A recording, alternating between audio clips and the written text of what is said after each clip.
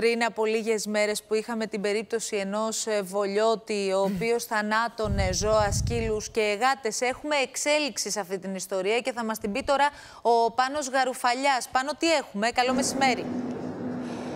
Καλό μεσημέρι. Στις φυλακές Κορυδαλού οδηγείται ο 31 ετών ε, Βολιώτη, ο οποίος ε, σύμφωνα με τα στοιχεία θανάτωσε τουλάχιστον ένα γατάκι πριν από περίπου μία εβδομάδα, ίσως και περισσότερες ε, ημέρες. Υπήρχε βιντεοσκοπικό υλικό ε, για αυτή του την πράξη, έτσι συνελήφθη από την αστυνομία. Όμως κατηγορείται και για θανατώσεις ε, άλλων ε, ζώων.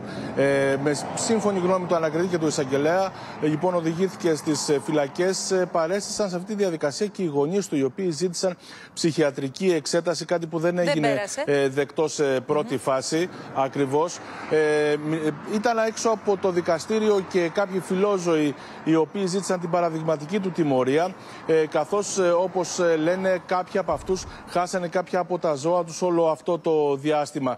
Το ζήτημα είναι ότι ο ίδιος ο συνήγορός του, ο κύριος Μόσχος, μας είπε ότι δεν αναγνωρίζει τις πράξεις του, νομίζει ότι αυτές γίναν σε ένα φανταστικό κόσμο. Μένει βέβαια αφού οδηγηθεί στις φυλακές, εκεί λοιπόν ε, η δικαιοσύνη ζητά να γίνει ε, δικαστική πραγματογνωμοσύνη και ψυχιατρική προκειμένου να ε, οδηγηθεί πιθανότητα στο ψυχιατρίο των, των φυλακών του Κορυδαλού ίσως σε δεύτερο χρόνο. Ναι, δεν ξέρεις ποτέ τι ένστικτα μπορεί να κρύβει ένας άνθρωπος. Γιατί εδώ μιλάμε για ένα serial killer, όπως αποδεικνύεται. Έναν άνθρωπο ο οποίος θανάτωνε κατά συρροή ε, ζωντανούς, ζωντανά πλάσματα. Έχει δολοφονικά ένστικτα μέσα το αυτός άνθρωπος. Ναι, μπορεί να τα έχει και για άνθρωπο. Δηλαδή, ναι, ναι, προφανώς. Δεν, εγώ δεν διαχωρίζω.